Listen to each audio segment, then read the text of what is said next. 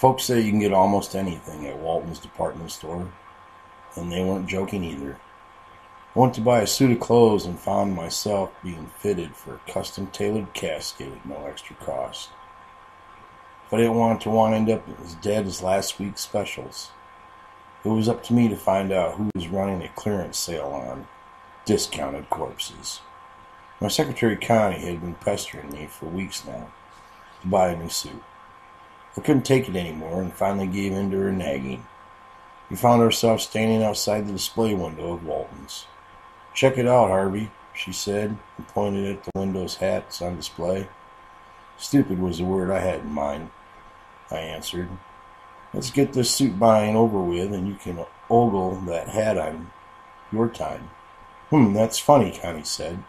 Some bimbo blonde waltzed by with that hat on, your eyeballs would pop out and you'd probably break your neck.